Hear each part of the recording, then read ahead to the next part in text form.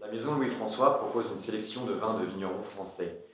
Les fondateurs sont Sylvain François, président, et Benjamin Roffet, son associé, meilleur sommelier de France 2010 et meilleur ouvrier de France 2011.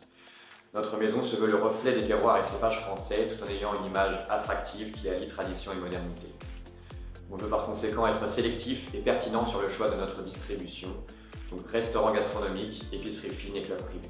Cette année, nous avons décidé de nous associer à Axel Lune et sa villa AH, qui est un lieu incontournable du Festival de Cannes, pour sa 71e édition, en imaginant trois vins uniques de cépage, à savoir un pinot noir, un chardonnay et une syrah en rosé, tous issus du Languedoc, ainsi qu'un champagne brut, que nous avons voulu sur mesure et couture avec Axel.